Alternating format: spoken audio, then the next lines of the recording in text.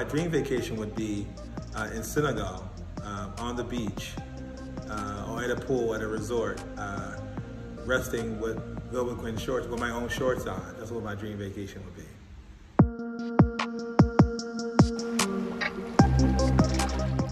Well, I have quite a few, but one that I recall that I enjoy the most was the summer I spent at my relative's place in Sag Harbor with my friends. And it was my new float that had just came out and all of my friends were on it. And I got some really great pictures that I use in paintings. it's all about me and my paintings. Like, it's what I'm thinking about.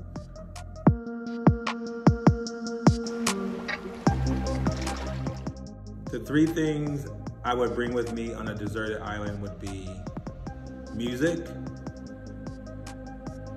my Vilebrequin shorts, and the person I love.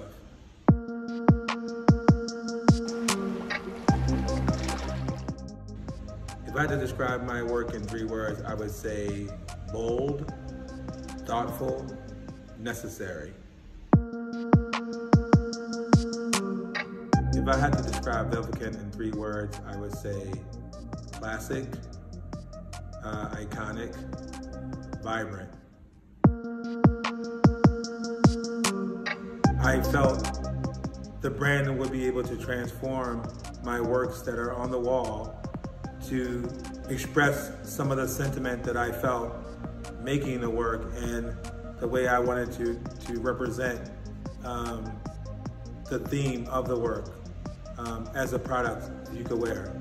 The Floater series is a very important series in the works I've made and they've been so um, instrumental in communicating how I feel about the notion of the black figure in leisure.